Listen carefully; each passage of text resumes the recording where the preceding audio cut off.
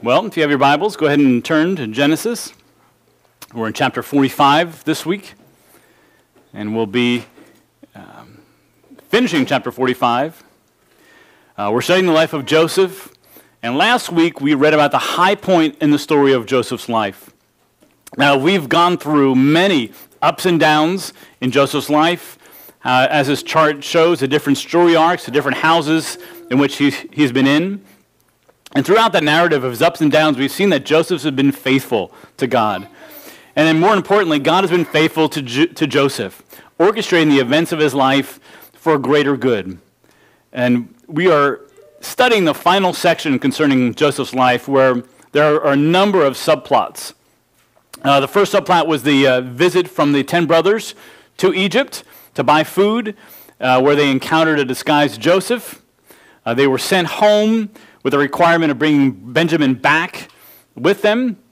Uh, when they went home and, dis- and discussed what happened uh, to their father, their father refused to let Benjamin go, but after some time and the requirements uh, of, of a lack of food, reluctantly, Jacob allowed Benjamin to go with them. Uh, when they reunited, returned uh, with all 11 brothers, Joseph was finally reunited with his full brother and they all feasted together, which uh, led Joseph's uh, led to Joseph's predicament of how does he keep his brother there with him, uh, which led us to the fourth uh, story arc, which is the two plans, where Joseph was going to plant evidence into Benjamin's uh, sack of grain, incriminating evidence that so he can accuse him of theft, so he can keep him in Egypt and send the rest of them back. Uh, but the second plan was that Joseph begs that he be taken instead. So that number one, his father should not suffer further harm, and then number two, that he should keep his word. And this unexpected event and information forces Joseph to reveal his identity. Uh, and we see God Almighty granting them compassion, and Joseph was released to them. His identity, his, his relationships was released. So that prayer that Jacob had prayed way back here was answered, number one, with the release of Simeon, but also, number two, with the release of Joseph. Um, so, uh, in that story, uh, where Joseph is being released and the brothers are being uh, reconciled together, we see the chain of, of forgiveness and reconciliation, which included the, the original offense and hurt. Then we saw that the hurt party had to forgive. Uh, and then the, the, the party that offended had to turn about with true repentance, which included confession and a changed life. And then the one that was offended needed to then receive them, where there was going to be, uh, in, it was done in a private way, it was done where there was honesty, and there was comforting, comforting words, uh, friendly words. And then finally, uh, the goal of reconciliation is life together, shared life together. Now, also in that chapter, the passage that we studied last week, verses 1 through 15, there was two emphases going on. Number one, uh, right at the beginning in verse 3, where Joseph is revealing his identity, he says, I am Joseph. Is my father still alive? So we see immediately his concern, and the emphasis is on his father. And then the, the whole third section is about instructions to bring back his father into Egypt from Canaan. And Joseph gives that invitation where he emphasizes, number one, that he has authority in Egypt. Number two, that when Jacob moves down, he'll be live near Joseph. There'll be a proximity there, and they can share life together. And then number three, that Joseph will be a provider, could provide for all of his needs there in Egypt. And then number uh, the second thing he does as part of the instructions to bring Jacob back down is to tell his brothers to be a testimony of, of his authority, what he is, and, um, and the goodness that he has there.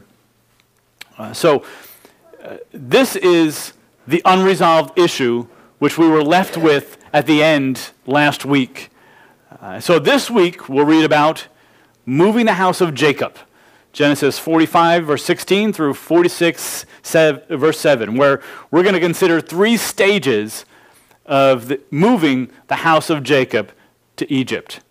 Now, the first stage is the provisions for the journey. And the first part of that, we see the generosity of Pharaoh. Verse 16 reads Now, when the news was, was heard in Pharaoh's house that Joseph's brothers had come, it pleased Pharaoh and his servants.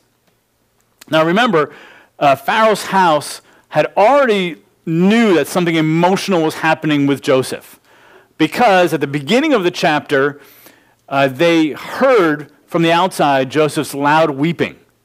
Uh, and so it was reported to them. And so naturally, they would be curious, and not just curious, but demand to know if Joseph was okay. He was the, the second in command of all of Egypt, uh, and he had a very important job to do.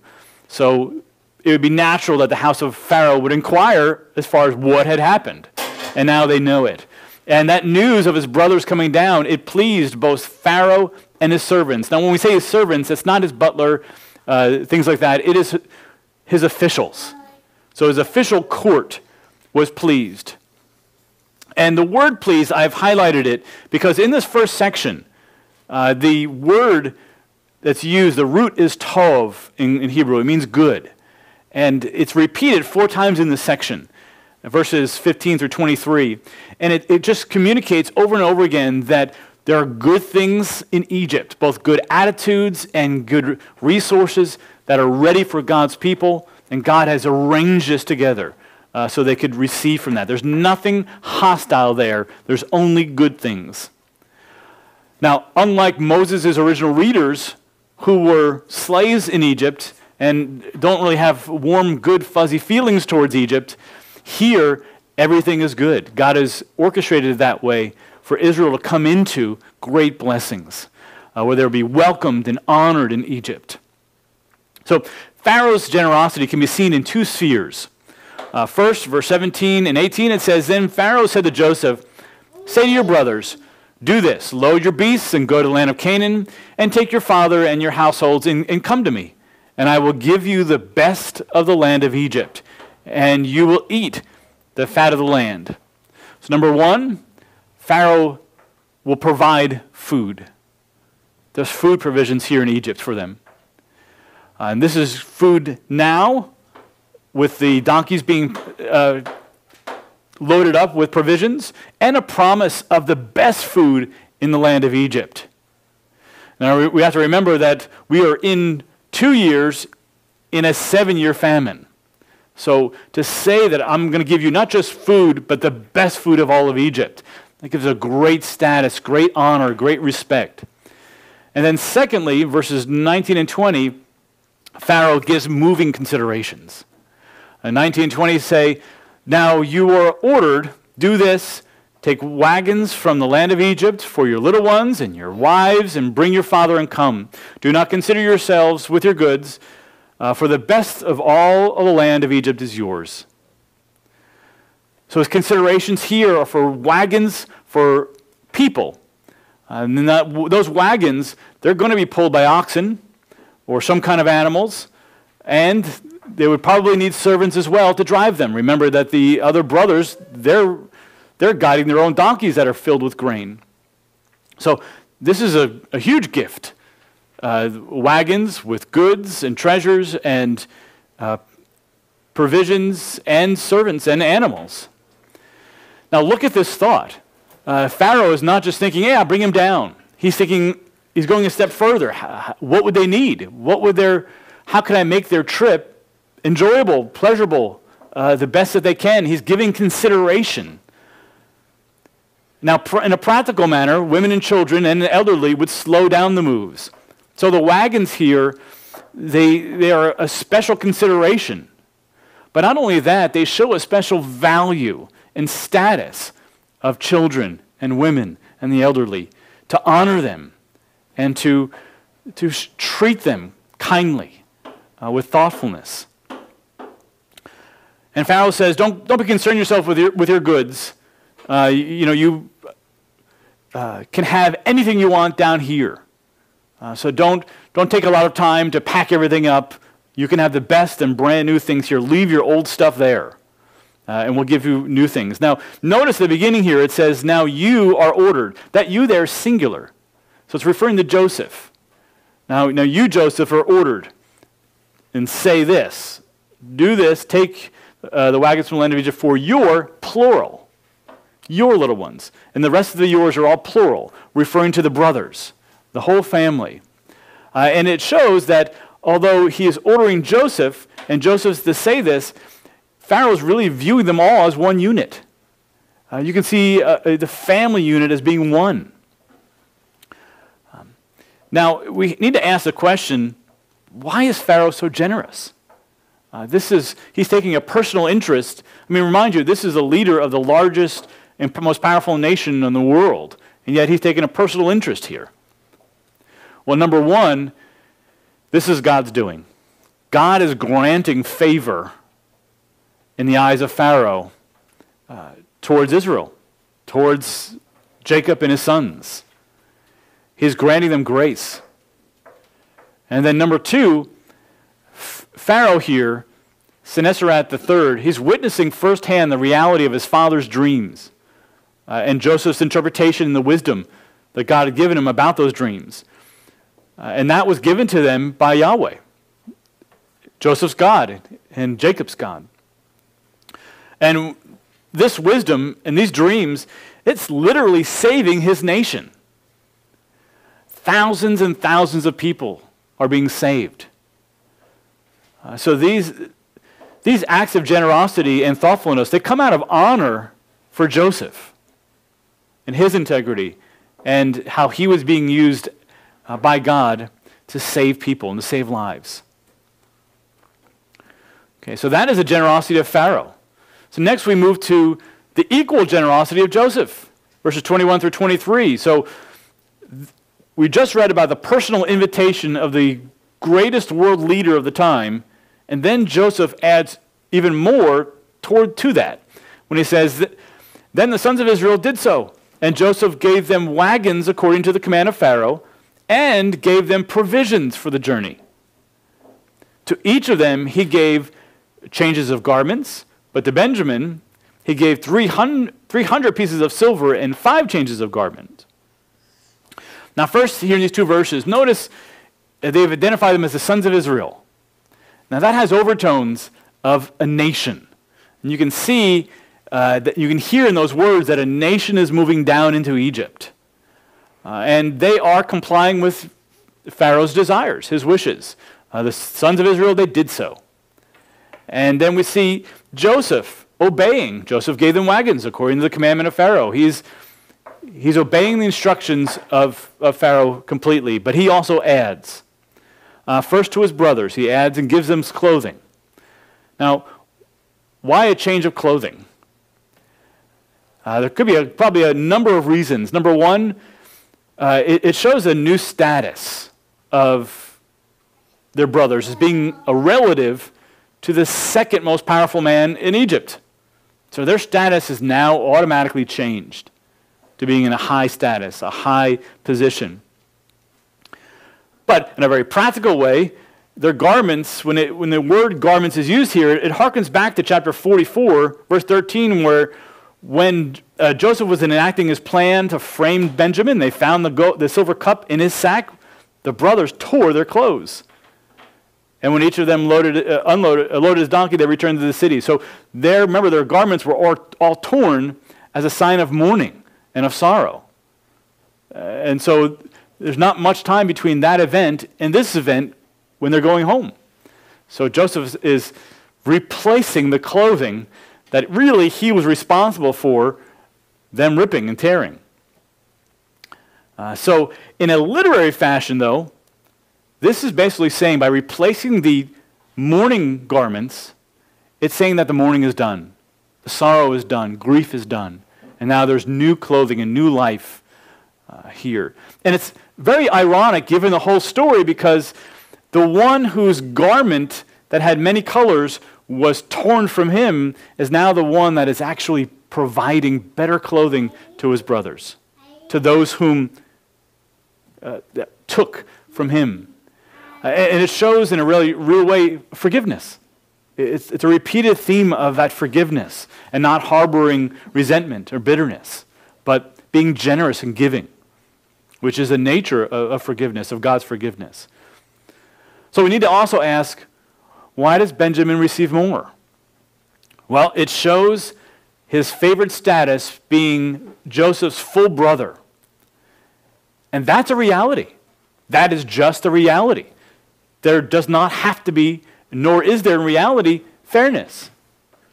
Uh, Joseph is elevated, and his brother is elevated because he is his full brother, and the others are not. And as we saw earlier, uh, they, they do not, they are mature enough now where they don't have that jealousy.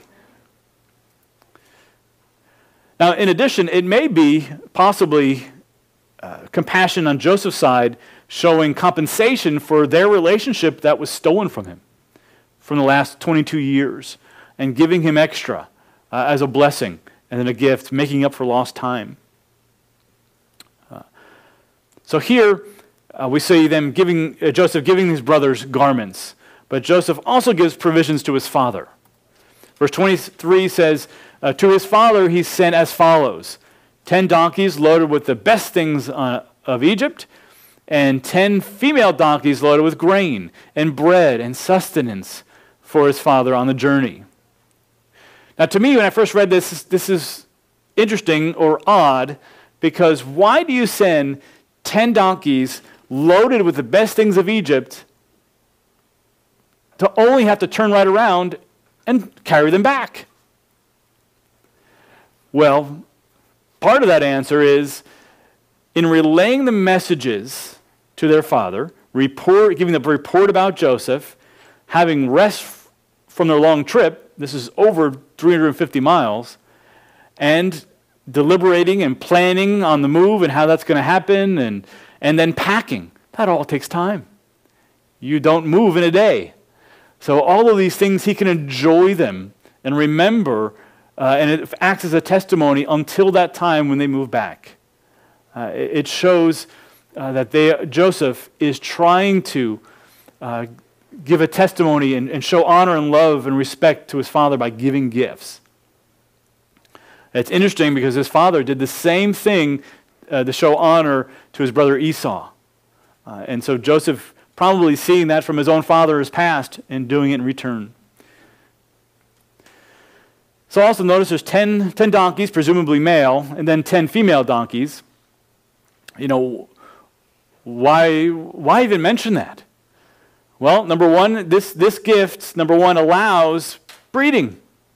There's 10 pairs. So now he has the means to produce even more. And donkeys at that time were like automobiles. They were expensive and they were uh, costly, and not everyone had them. So he had his very makings of, of great wealth. And then number two, females can provide milk. Uh, so there was, there was a lot there uh, in the value of, of 20 donkeys. But then also they were loaded up with provisions. And it wasn't only provisions for the trip up, he also took care of the provisions for the way back. Uh, and really, uh, Joseph is giving Jacob no reason, no excuse, no hesitation as to coming to Egypt. And that brings us to the, the second stage of moving Jacob to Egypt, which is the actual journey back to Canaan by the brothers.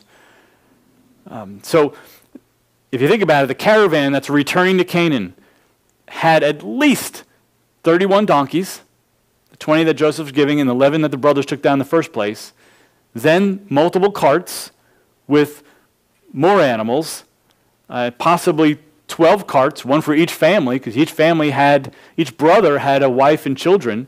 Uh, and then there's also Jacob, that makes 12. So this is a huge caravan coming back. And verse 24 recur, records the first, uh, before they leave, it says, So he, Joseph, sent his brothers away, and as they departed, he said to them, Do not quarrel on the journey fascinating little thing. he's sending them on their way, and here's a last final instructions as far as their trip, trip is concerned. And the word there for quarrel means don't be stirred up, don't be angered.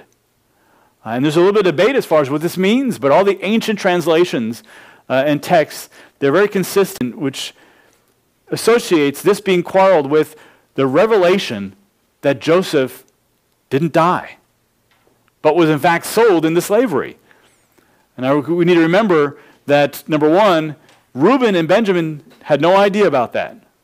And so this would, on this trip home, this would be the first time they'd be like, now you guys, you guys kept this from me for how many years?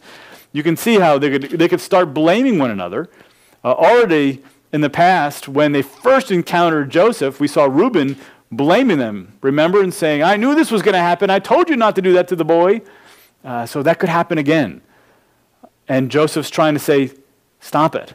But then also, number two, this whole situation brings up the necessity of telling their father what they did. Dad, we, we did it. And none of them are innocent except for Benjamin because they all had plans of what to do with Joseph. So they have to make that known to their father, which wouldn't be pleasant either. And I don't know if uh, they could easily come into a fight as far as you need to say it. No, no, you do. You're, you're, you're to blame. You can easily see how a fight could, ha- could start. And uh, this is a kind encouragement from Joseph. And his goal is here is to maintain family unity. They've just now reconciled. And they're all together and they're showing great harmony and great love for one another. And he doesn't want that to fall apart. And we need to remember and realize that's Satan's ga- uh, game. That's his ultimate goal is to tear apart families, not to bring them back together again. So by Joseph saying this, it's a reminder of his emphasis and God's emphasis of the family staying together as one and being harmonious. Well, moving on, it says, Then they went up from Egypt and came to the land of Canaan and to their father Jacob. And they told him, saying, Joseph is, is still alive, and indeed he is ruler over all of Egypt. But he was stunned, and he did not believe them. So Jacob has an initial shock from the news of number one, that Joseph is alive, and number two, that he's a ruler of Egypt.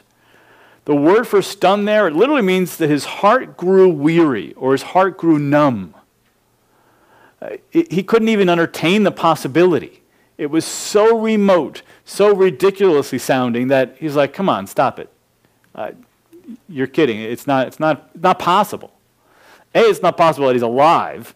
And then B, he's actually a, a, a ruler of Egypt. So the next step was to give more evidence. Verse 27 says, When they told him all the words of Joseph that he had spoken to them, and when he saw the wagons that Joseph had sent to carry, uh, to carry him, the spirit of his father, J- uh, Jacob, revived. So they had to give more evidence. They gave their testimony, and then they gave Joseph's words, his, his, te- his invitation, and showed him the actual physical things. Now, when it says that all the words of Joseph, if the brothers were communicating all the words of Joseph, then we know for certain that they did tell Jacob that they sold Joseph because that was part of Joseph's words. That they sold him into slavery, so they had to confess that. Uh, but it, it was a combination of Joseph's words and the wagons. When he saw the actual expensive wagons with animals attached, probably oxen, probably servants, and then filled with the goods from Egypt. The sons could not have brought that back. They couldn't have conjured that up. Uh, they couldn't have, that couldn't have come from their own, so it had to come from someone powerful. It was that much wealth uh, that it had to come from a ruler. Notice the, con- the contrasting language here, which we find throughout the Old Testament about numbness of heart. I remember the word for stunned is being numb. The heart was numb and didn't believe. That goes together. Oftentimes in the Old Testament, those who are disobedient have hard hearts, numb hearts, ones that are not soft and they don't believe. And then notice the difference. The spirit of their father, when he did believe, it was revived. Really, literally means came back to life, had a new heart, new thinking, new faith. And you see that throughout the Old Testament, uh, where uh, one who has faith has a new heart. Create in me, oh God, a, a new heart. Give me new hope, new life. So the good news of Joseph being alive, it far outpowered the news uh, that, of what his sons did. And that is the reaction that, that Jacob gives. Verse 28 says Then Israel said, It is enough. My son, is, son Joseph is still alive. I will go and see him before I die. Now, this is an amazing thing because we've all been dreading and we knew the reaction of, of Jacob as far as the false information about Joseph being killed. Uh, and so we would, we would expect, especially if we were in his shoes, a negative reaction. You did what? You lied to me all these years? We don't see any of that. Any of that. Uh, and nor do we say, whoa, look at all this money. Look at all this wealth. What's, what's the text focused on? What is his words focused on? Above all the gifts, the provisions, uh, and the deception, the hurt from the past, uh, or, or the status of Joseph now, life was the most important thing. Life. And so he says, I, it's enough. That alone is the news that gives me new life. My son is not dead, is alive. And, and I can, uh, that alone. But then he says, my greatest desire now is to be part of my son's life, have that reunion, have that relationship. And he says, I will go and see him before I die. Now, this is not saying that he's expecting to die anytime soon, but what he's saying here is that's now a new priority of his, while he still has life, that is his a number one priority. That is what he needs to do, is to go see his son. So you see that life, the relationships, is such a great value that Joseph, uh, I'm sorry, that Jacob would move for. Uh, anything else, uh, Joseph having authority, being able to provide, uh, giving a place that's near him, the testimony of sons, none of that ultimately mattered. It was that Joseph was alive. That's enough for me. I will move. So this brings us to this third stage of moving the house of Jacob to Egypt. And that is the actual journey, the journey to Egypt.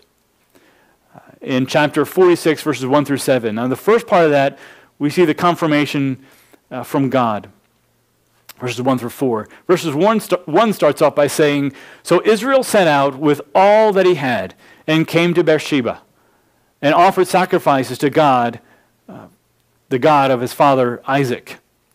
Now, the photo there is what the uh, satellite photo or, or, aerial photo of the, the mound, the ancient city of Beersheba, and uh, what's left of it. Uh, and we know that uh, Jacob is living in the area of Hebron. We don't know if it's north, south, east, or west, or around there, and he's, moving, he's going down just this far.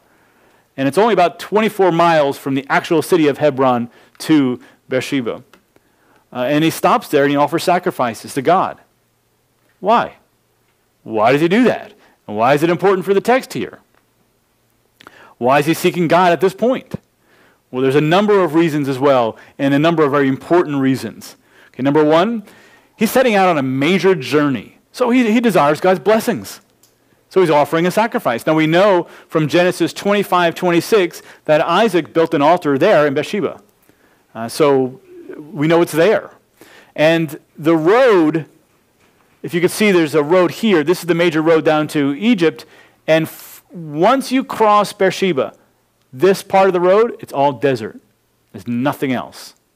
So if you're going to get provisions, uh, water, things like that. Beersheba is your last station, your last oasis. And that's what made it a great city for those traveling north. It was a city for rest and getting new provisions. And third, Beersheba was a pro- proverbially known as the southernmost point in Israel. Uh, and, and, oftentimes in the Old Testament, you'll, see, you'll hear the phrase from Dan to Beersheba, from the most northern city to the most southern city, meaning all of Israel. So, uh, what that's telling us here is he is now at the border. So, if he goes any further, he's going out of the land of Israel. Uh, and, and, notice that he's offering sacrifices to the, to the God of his father Isaac. Why does it mention Isaac here? Well, if we go back to Genesis 26, let me read this passage. Now there was a famine in the land. Sound familiar? besides the previous famine that had occurred in the days of Abraham. So Isaac went to Gerar, to Abimelech, king of the Philistines, and the Lord appeared to him and said, Do not go to Egypt. Stay in the land of which I shall tell you, and sojourn in this land, and I will be with you and bless you. For to you and your descendants I will give all of these lands, and I will establish an oath which I swore to your father Abraham. I will multiply your descendants as the stars of the heaven, and will give your descendants all of these lands. And by your descendants, all the nations of the earth shall be blessed, which is a passage that's used of Christ in Galatians by Paul. Verse 5 Because Abraham obeyed me and kept my charge, my commandments, my statutes, and my laws. What this meeting between God and Isaac surely was passed on to Jacob. And look at some of the elements there. God's blessing them because of Abraham's obedience. Well, if I was one of those sons, I would try to also be blessed and try to obey God in his words. And, and God is going to obey them, I'm sorry, going to bless them in the land. And by reading this, it says that your descendants will be like the stars of the heaven, and I will give you descendants these lands. What does that imply? It implies, and rightfully so, we would just assume that God's going to keep them in that land and multiply them in that land. And so by Jacob leaving that land, is he being disobedient to God? Is he saying, God, I, I don't really trust you.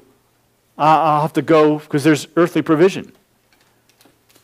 So you can see also, Beersheba, the town, it means the well of oath, a promise. And it's the same word for oath that's used here.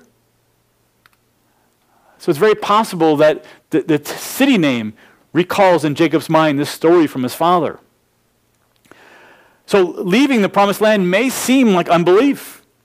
And hadn't God already, but, but hadn't God already arranged everything in Egypt for him and his children and his grandchildren to move there?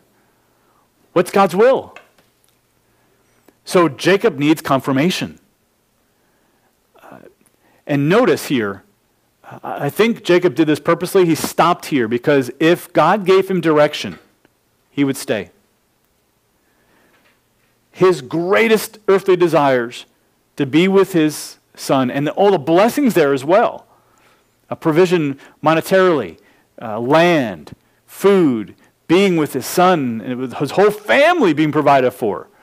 What greater desire would there be? And yet, he, he's seeking God's direction and confirmation because he's not going to move without God. Because without God, even when everything seems rosy, without God and his, his guidance, his blessing, you'll have nothing. It's an example of him loving God more than. Fill in the blank.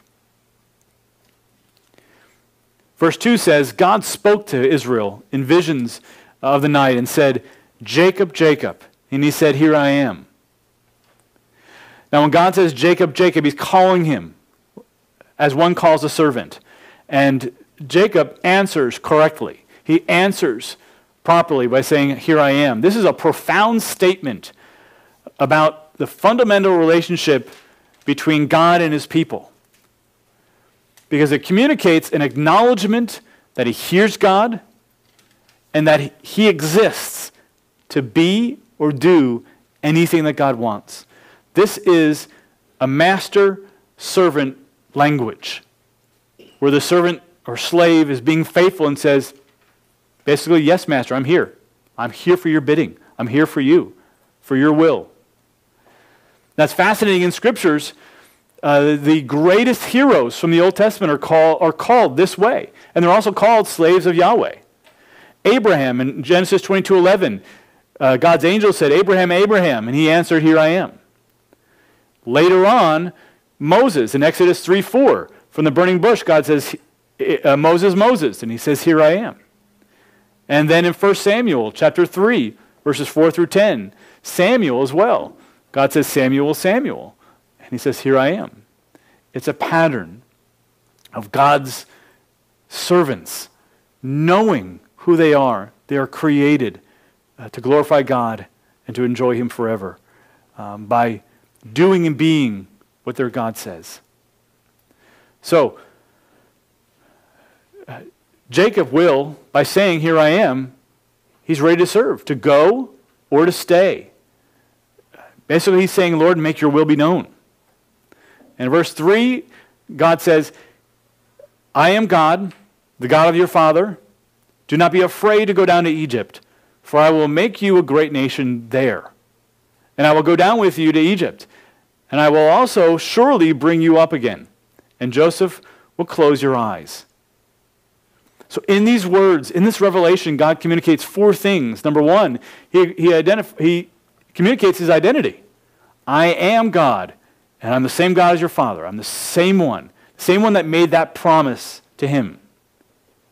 Number two, uh, he, he communicates comforting words. Do not be afraid to go down to Egypt. You're not being disobedient.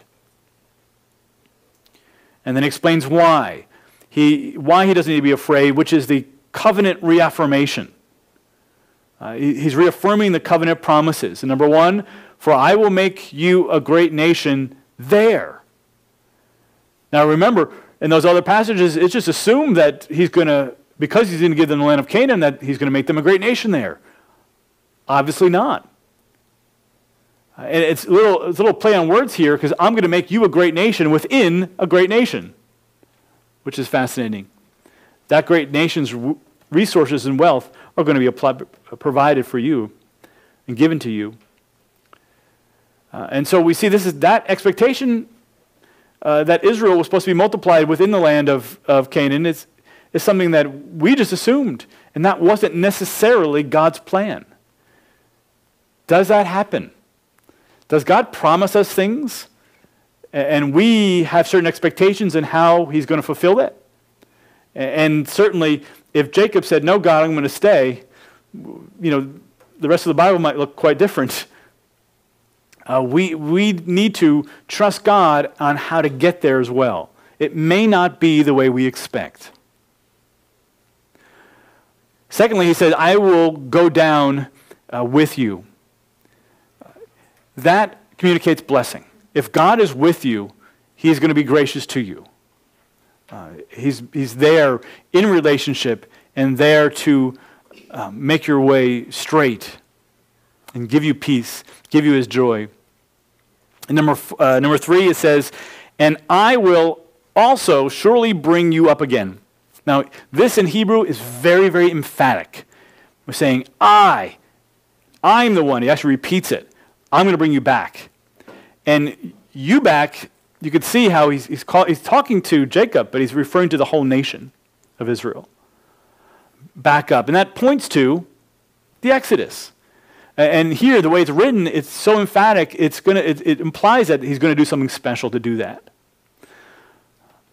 And then finally, it says, and Joseph will close your eyes. Uh, this communicates a reunion for the rest of his days. Uh, that Jacob, once you go down there, you will live at peace with your son for the rest of your days. And that he will be there when you die, uh, and he will close your eyes.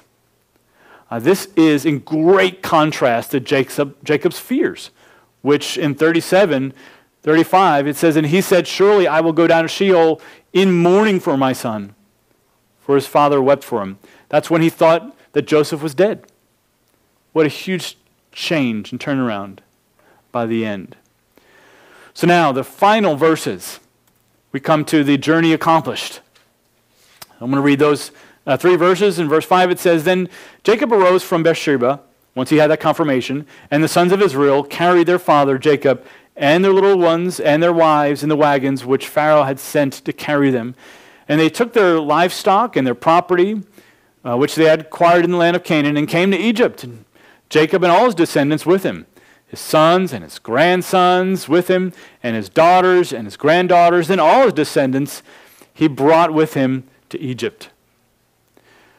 And now this would be a huge caravan, a huge moment, uh, momentous mass of people coming down and things coming down. We actually know the Bible in Genesis in Exodus, uh, sorry, in Acts tells us there's 75 people all, but add the animals, the other servants that Pharaoh sent up, uh, the flocks. This is a huge mass coming down. Uh, and they're, they're traveling some 300 miles. So this journey would take, take time, especially with all the animals. And you can see here that the sons, when Pharaoh and Joseph, they gave them wagons for special provisions, they didn't take them from themselves. They weren't selfish, right? They were men of honor as well, and they used those provisions for their, uh, as they were intended to be used, valuing, showing special consideration to women and children and the elderly. Uh, and the, the text here, uh, it emphasizes that all of his descendants came down. Uh, did you notice that it says his daughters? Besides Dinah, remember, we don't have any indication about daughters. Uh, remember, there was one about him being comforted, and we said we suggested that could be the, the other brothers' wives or it could be his other daughters. And, and I, I think it, it, it, means other daughters as well, but this would surely also mean the wives of his, of his sons, but, but also that he had other daughters. Uh, so it emphasizes that Jacob's family came down as one family. Again, the text is emphasizing the union and harmony of the family, and that God had provided for everyone in Jacob's house. And now they will live in, in Egypt and equally be provided for. So, the big problem in the text that is clarified for us is why has Israel moved to Egypt when God has promised and given them the land of Israel? This answers that big problem, that big question. Uh, and remember, who's the original audience? It's Moses at that time in the Exodus. And they're having a, a terrible time in slavery and then a more difficult time leaving that and starting a new life and being in the wilderness. Uh, and so this is an important part of their history that they need to know. This passage shows that it was God's sovereign hand that orchestrated this move and made them into a, a great nation. And he brought them down there into plenty, and he gave them favor with the Egyptians. Uh, and he confirmed that move to Jacob, but also that he confirmed that he himself would be the one that would be powerful and bring them back. Uh, now, there's one more reason before we, we, we close. There's one more reason why this is so important. This move is so important. And it's a, a reason from history. And it has to do with this stone. Uh, this is called the Sebeku stela, which is also known as the stela of Khusobek. And the inscription on this is in honor of a man named Sebeku, who lived during the reign of Senusret III, which is the Pharaoh at this time. And the text is larger, largely about uh, Sebeku's life. And uh, it's in, historically important because it records the earliest military campaign of Egypt going into the land of Canaan. Uh, the, the, text reads uh, that then Sek, Sekhmem fell together with the wretched retinue. And where it says uh, Sekhmem, uh, that is the word for Shechem, which is the, the Hebrew city. And remember, that was a city in which Jacob and the family had dealings with.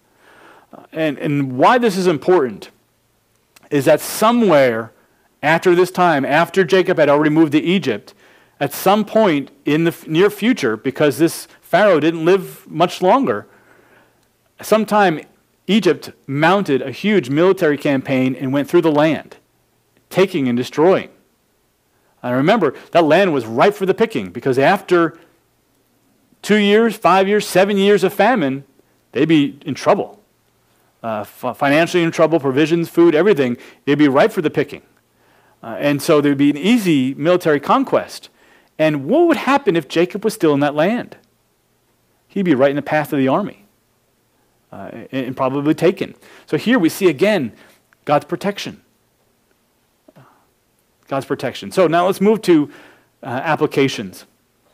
Number one, Pharaoh's gestures of generosity and thoughtfulness uh, emerge from his honor f- for Joseph and are extensions of God's gracious hand to his people.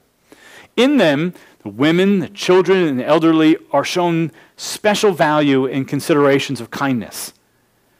In adding to Joseph's gener- uh, into Pharaoh's generosity, Joseph gives further provisions to account for his father's need, every need and to alleviate any possible fear or hesitation. Are our lives characterized by tenderness towards the needs of those who may be weaker than ourselves, so that we also can be used as God's gracious hands? Number two, Joseph instructs his brothers not to quarrel and thus to maintain the unity in the family. Satan works to destroy unity. Uh, this scheme of our enemy is something that we need to be aware of and to make every effort to fight against. God's desire and his design for a holy family is unity. Uh, number three, although Jacob saw the status, the wealth, and the authority of Joseph, uh, his words reflect that uh, reflect what is truly important, which is Joseph's life. Life and relationships are far more precious. Uh, this is a value Jacob would leave his home for and move hundreds of miles away. God's people need to pursue life and relationships over wealth and status. number four, over all of his greatest desires, Jacob sought God's blessing and guidance as to whether he should move to Egypt. Uh, he's an example of a faithful and submissive servant who loves the Lord his God with all his heart, soul, and strength. In his response to God's vision, uh, Jacob reveals to, to us our proper attitude towards God, one that recognizes that we are his cre- creations for his use, for his purpose, and for his glory. In your prayers this week, speak back these words to God and telling him, I am here. Number five, as most of us would assume when reading about the covenant promises of God made to Abraham, Isaac, and Jacob, God was going to build a nation in the land of Canaan. But as his words to Jacob revealed, this was not the case. He gave further clarification. So it reminds us that God's promises are always true, but they are not always fulfilled as we expect. We need to be careful that our expectations do not keep us from seeing the blessings of God.